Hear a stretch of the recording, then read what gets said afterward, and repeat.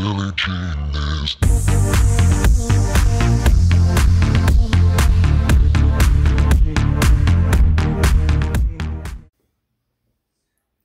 Hey Ninjagoians, I'm Sara. Welcome back to Ninjago TV. So today I have someone very special joining me that I'm going to be interviewing with your guys' questions and mine.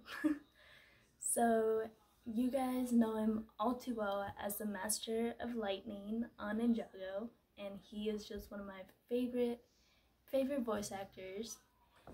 And everyone, please welcome Michael Adamthwaite.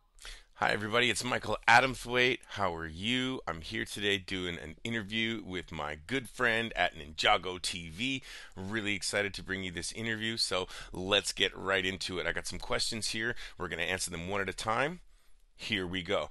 Okay, Michael, so I know you have done both live action acting and voice acting.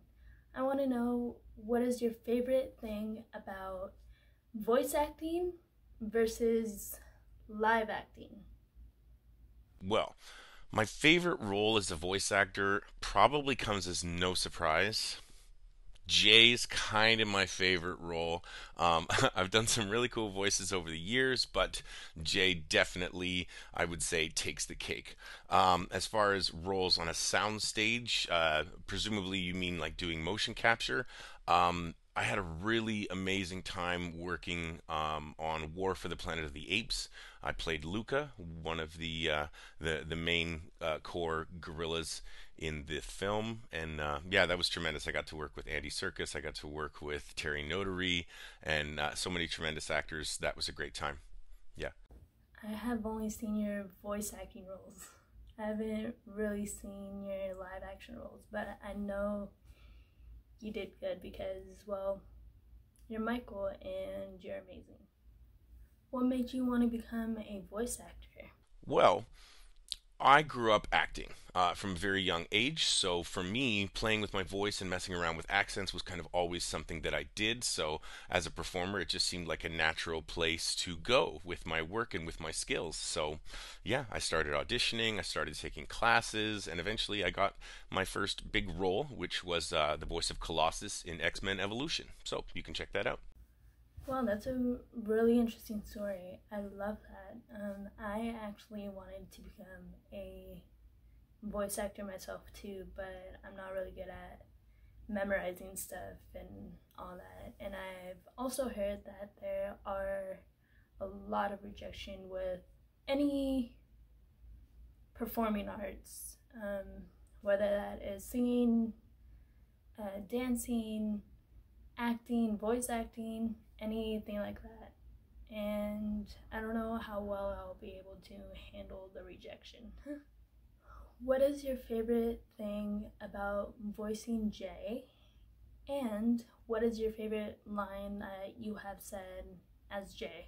Um, I really love playing Jay because he is funny and a little bit quirky and he's kind of excitable but in the moment when he needs to he's always you know the right person on the team to turn to. Um, there's been a lot of uh, emotional stuff. He's been through a lot. So yeah i think that jay is a very resilient character.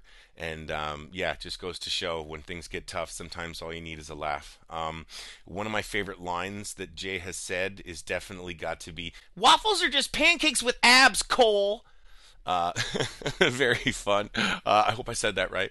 Um, anyway, so yeah, there we go. Moving on. My favorite lines that you have said as Jay would be um, a yak? No way. Maybe it's a cow. And um, Cole's a ghost. Kai can't swim. We have no magical sword or elemental powers. what can go wrong?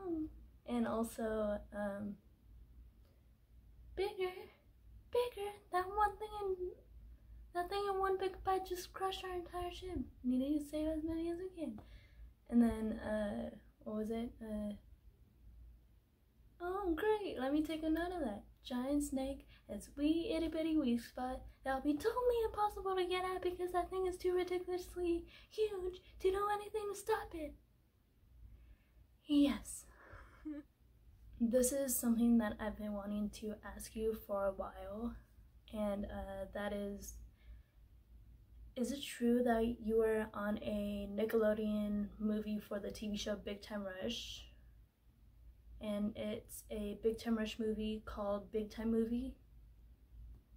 I just want to know that because it says that on your IMDb that you were, so I just want to see if it's true. Yes, I was in the movie Big Time Movie. Uh, I played a bumbling assassin. Um, it, it, was kind of a fun time to play Rickard, who was a little bit of like a Swedish assassin, you know, from that place where, you know, we came from in the movie. uh, Rickard was very funny. I had a good time uh, working on that movie. Yeah, and uh, I think uh, I think people would uh, find it fun to know that I did get to meet the boys, and, and, we did have some fun. We stayed at a we, we stayed at a big hotel while we were shooting the movie, and we got to hang out a little bit. So yeah, yeah, that was fun. This question is actually from the band that wrote the Ninjago songs, uh, so shout out to the Fold. And their question was, how did Jay get a get the scar on his eyebrow?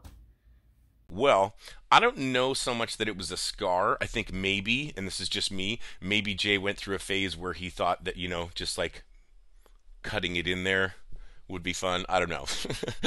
I, I don't know that it's a scar. Oh, that's okay. That is really cool and weird because in the newer seasons, that scar on his eyebrow, it looks like it just magically disappeared. Okay, this next one is not a question. Someone just wants you to give the fans of Ninjago encouragement.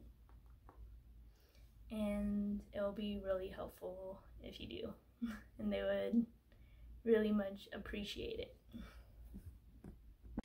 So, my message to all the Ninjago fans is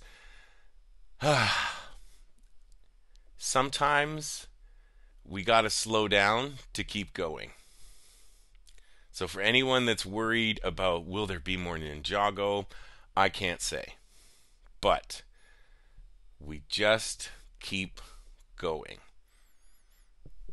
I hope that's encouraging for uh, for for anybody. But uh, you know, if you know me, you know that I don't do a lot of spoilers for the show. So, anyway, that is really good advice. I never thought of thinking about it like that. Do you like the new ninja design more than the old ninja design, or do you just like them both equally? Well, for me as the voice actor, I mean, I love Jay, his voice, his personality, but it's definitely not up to me uh, as to what they look like. So that's a thing. As far as what I prefer, I don't know. I kind of like them all. My favorite, personally, I like the old design more. But then again, I also like the new design, so it's kind of in between. I mean, the old design of Jay and all the other ninjas, mostly Jay, um, he looked really cute and he was like a kid or maybe in his teens. And then um, when he got older, like in the other seasons, the newer seasons, um, Jay has freckles on his face and his hair is, I don't want to say messy, but it's like styled differently and he looks more mature, but they still kept his, the cuteness of his face, which I love. Okay, next question. How has Jay's characteristics changed throughout the show? Um, I would say that Jay has grown a lot, and you know, I'll, I'll say through trauma and difficulty and Man, just so many events, so many big life events. Um, I would say that, you know, yeah, Jay has grown into a really well-rounded person. I mean, definitely there's some sadness and some heaviness in his life, but of course, you know, in those moments he turns to his friends, he turns to his family, he turns to his partner, and you know, uh, those people are in your life to make you strong. So yeah, without getting too deep or sentimental, I think uh, I think Jay has grown a lot. Yeah.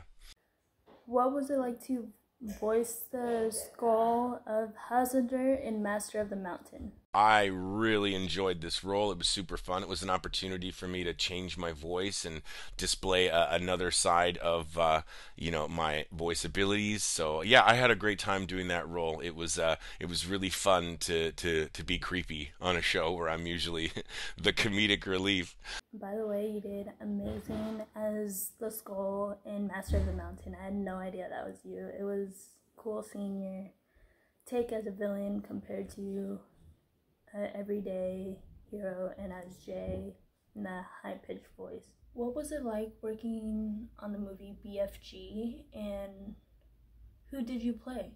Well, it's a great question. Thank you. Um, I really loved working on the BFG. I got to work with Steven Spielberg. He directed the film. It was amazing being part of such a cool group of giants. Um, I played uh, the Butcher Boy. Uh, he was sort of in my mind when I started creating this character. Um, again, I got to work with Terry Notary, and he sort of helped everybody come up with their character walks and their moves and their, you know, uh, the the voice was really uh, uh, on you, but um, it was fun for me uh, in a lot of ways. I sort of imagined my character being a mix between a black bear and a giant baby. So it was very fun. Yay! Um, so that was that was kind of my role, and um, yeah, it was it was a great time. I, I got to work with so many amazing actors, and uh, yeah, yeah, the BFG, great times.